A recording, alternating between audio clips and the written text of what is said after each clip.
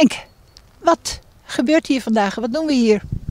Uh, we zijn hier vandaag samengekomen bij de doorbraak. Uh, in uh, een nieuw gegraven beek aan de zuidkant van Almelo. Almelo is een laaggelegen gebied en om Almelo droog te houden is de doorbraak aangelegd. Zoals in het verleden verschillende waterlopen zijn aangelegd om Almelo droog te houden. Zo is de doorbraak aangelegd. En de, met de doorbraak dienen we ook de natuurbelangen hier. Ah, ja. Hoe lang geleden is dat gebeurd, die doorbraak aanleggen?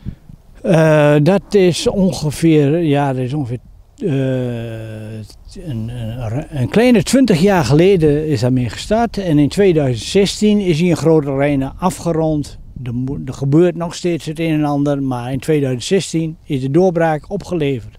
Dus toen uh, werkte de doorbraak, kon het water er doorheen en uh, nou, was een nieuwe garantie voor Almelo om daar droge voeten te houden.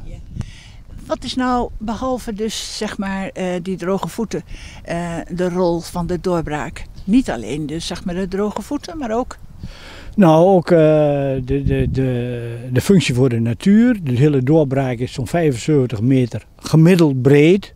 Uh, de, de, de, de doorbraak, zoals we die hier zien, ja, komt niet veel verder dan 10 meter. Maar de uiterwaarden zeg maar, van de doorbraak, die uh, hebben een belangrijke natuurfunctie.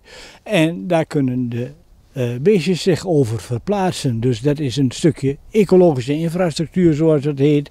En die is overal doorgetrokken. Dus die begint bij de Lolé uh, en eindigt bij uh, de Exose A, de Regge in feite. Hoe lang, hoe lang is die hele doorbraak eigenlijk? 13 kilometer lang. En uh, nou ja, ook in ruim 13 jaar is die uitgevoerd.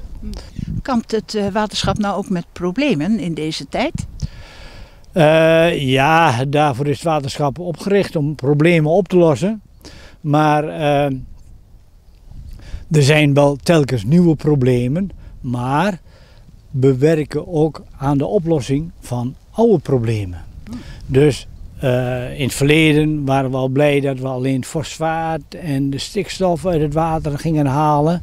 Maar we werken nu ook aan uh, zuiveren van het water, van uh, medicijnresten en van PFAS bijvoorbeeld. Daar wordt, ja, daar wordt aandacht aan besteed, maar dat is nog in ontwikkeling. Wat doet het waterschap eigenlijk aan om de mensen te informeren?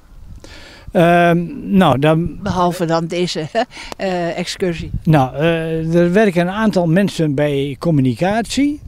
Dat is een afdeling die naar buiten toe uh, het, het, waterverhaal vertelt. En ja, zowel via de media, de, de, de, oude media, maar ook de, de nieuwe sociale media worden daarvoor gebruikt. En ja, op die manier wordt getracht om een eenduidig beeld naar buiten te brengen. Jullie doen aan de educatie. En educatie is een onderdeel daarvan. We hebben dus gewoon de, de communicatie, eh, de, de externe communicatie, maar ook educatie, wat vooral op scholen gericht is. En uh, nou, ik werk aan, uh, aan, met een aantal mensen aan het geven van excursies zoals deze, maar een groter aantal is bezig met educatie op scholen. En dat doen allemaal vrijwilligers.